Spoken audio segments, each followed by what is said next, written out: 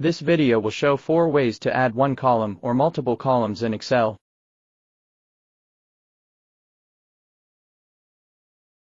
Supposing here you want to insert two columns to the left of column B. Click a column B header, then hold to drag mouse to right to select two columns, column B and column C. Then right-click to select Insert from the context menu. Two columns have been added to the left of column B.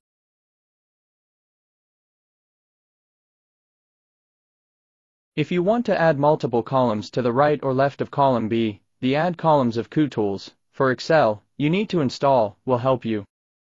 Right-click at column B header, and click Add Columns in the context menu.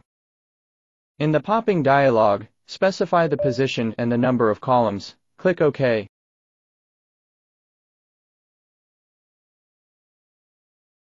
Columns have been added.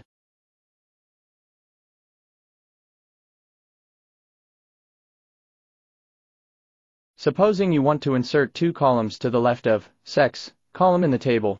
Select two cells across sex column and age column B2, C2.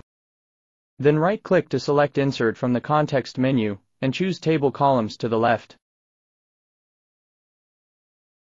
Two columns have been added to the left of Sex column.